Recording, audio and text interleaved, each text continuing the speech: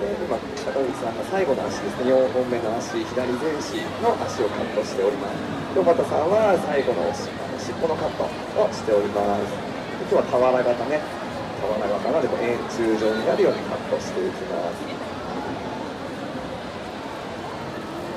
栗間さんのお仕事ってトイプードル例えば研修一つとってもみんなカットそれぞれ全然違いますよねみそちゃんは青テディベアだし足はバリカンで短くカットしてるんですよなんで同じ犬種でも同じワンちゃんでも全然カットが違うだけでやることが全く変わってきますなのでトリマーさんのお仕事って同じお仕事毎日するってことまずないですねみんなカットの内容も違うしカットスタイルも日々変わっていくのでだからやってたんです。よ毎日がいろんなことの発見の連続やって